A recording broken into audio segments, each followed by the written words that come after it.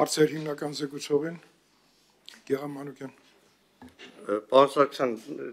պայմանագրի հետ կապված շուկի առիթից օգտվելով որ այստեղ եք, նայեք, օրերս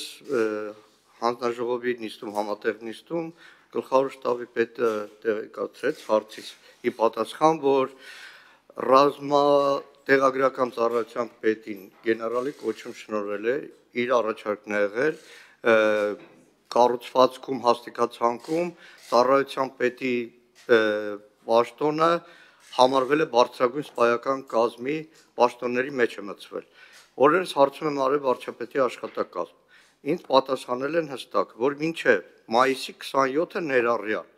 դեռ 2020 թվականի նոյեմբերի 26-ին հաստատված հաստիկացանկում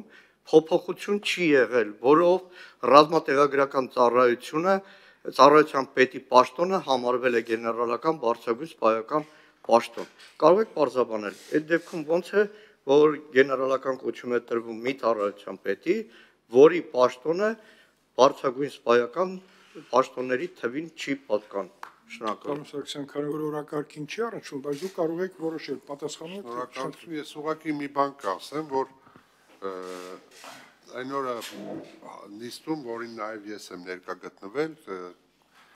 գլխավոր շտաբի պետը պարզաբանեց, բայց ես ձեզ վստահեցնում որ չի կարող լինել ոչ իրավաչափ գործընթաց։ Ձեր նշած պայմաններում անհնար է որևէ մեկին շնորհել բարձրագույն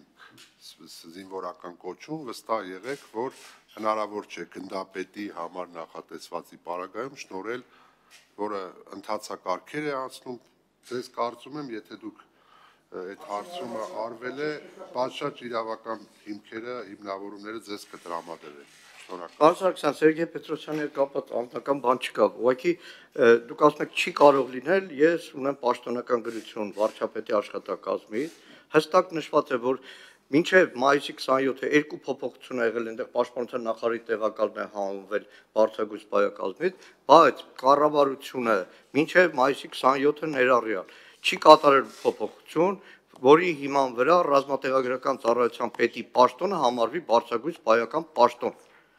Գլխավոր շտաբի պետը արդարացրեց, թե առաջիկա 10 տարիներին սահմանագծման հարցը շատ կարևոր է, դրա համար ինքը առաջարկել որ գեներալի պաշտոն։ Գեներալ պաշտոնը տալիս են համաձայն կանոնակարգերի, համաձայն օրենքների, համաձայն կառավարության որոշումների, ոչ թե ճաշակով վերջին պահին վերջին պահին, որտեղ նախագահի հրամանագիրը մյուսներին գեներալի կոչում տալու եղել է մայիսի 24-ին, վերջին պահին մայիսի 28-ի առավոտյան նոր հրապարակում է նախագահի հրամանագիրը ռազմատեղագրական ծառայության պետին գեներալի կոչում շնորհելի մասին։ Այսքան